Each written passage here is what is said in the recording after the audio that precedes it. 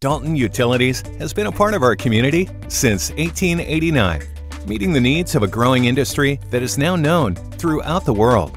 Over 125 years later, Dalton Utilities is still invested in our community's success, providing safe and affordably priced utility services to help run your home and business.